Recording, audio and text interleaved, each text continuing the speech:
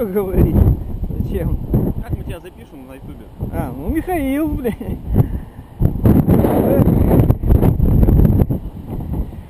О!